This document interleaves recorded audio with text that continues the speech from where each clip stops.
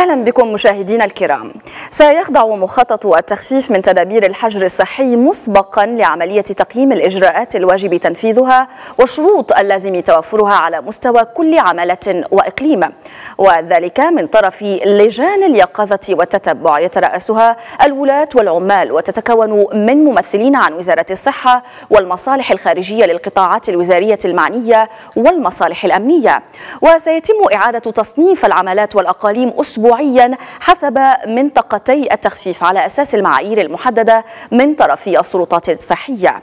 خلال المرحلة الأولى من هذا المخطط والتي تبتدئ في الحادي عشر من يونيو الجاري سيتم الشروع في التخفيف من قيود الحجر الصحي كما يلي باستئناف الأنشطة الاقتصادية والأنشطة التجارية وأنشطة الصناعة التقليدية ثم كذلك أنشطة القرب والمهن الصغرى للقرب وتجارة القرب والمهن الحرة والمهن المماثلة وإعادة فتح الأسواق الأسبوعية.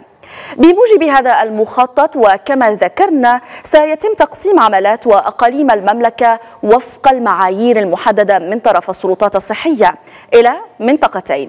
منطقة التخفيف رقم واحد وتضم عمالة وأقاليم جهة الشرق عمالة المضيق الفنيدق إقليم تطوان إقليم الفحص أنجرة إقليم الحسيمة إقليم شفشاون إقليم وزان إقليم جهة الداخلة وادي الذهب أقاليم جهة بني ملا الخنيفرة أقاليم جهة درعا تفيلالت عمالة وأقاليم جهة سوس ماسة أقاليم جهة قلميم ودنون أقاليم جهة العيون الساقية الحمراء وكذلك عمالة مكناس إقليم إفران إقليم مولا يعقوب إقليم صفرو إقليم بولمان إقليم تونات إقليم تازا إقليم الخميسات إقليم سيدي قاسم إقليم سيدي سليمان إقليم سطات إقليم سيدي بنور.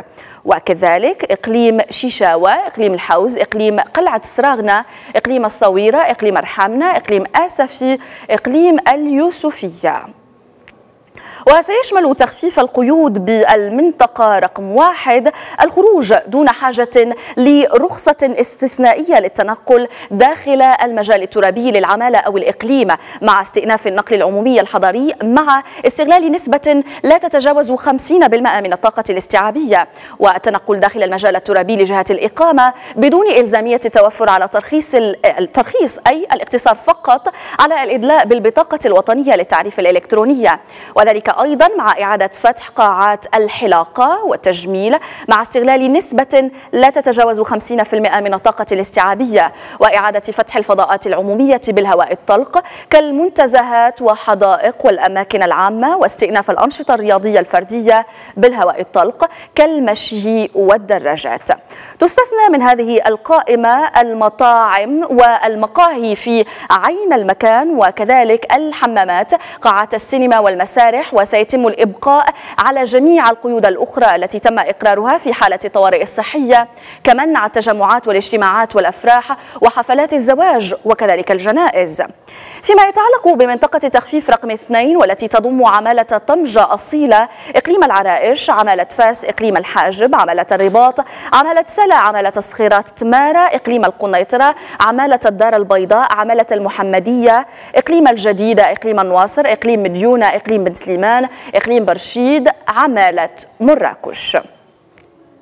سيقتضي الخروج في هذه المناطق التي ذكرناها التوفر على رخصة استثنائية للتنقل مع إغلاق المتاجر على الساعة الثامنة مساء واستئناف التنقل العمومي الحضري مع استغلال نسبة لا تتجاوز 50% من الطاقة الاستيعابية مع الإبقاء على جميع القيود الأخرى التي تم إقرارها في حالة الطوارئ الصحية ومنع تجمعات الاجتماعات الأفراح حفلات الزواج الجنائز.